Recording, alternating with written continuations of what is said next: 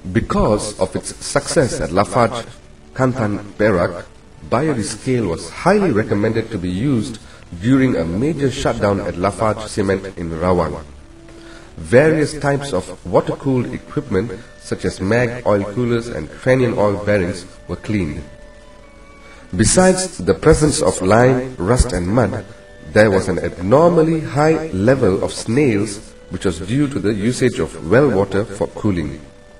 Again, as seen in this video, Biodiscale performed magnificently.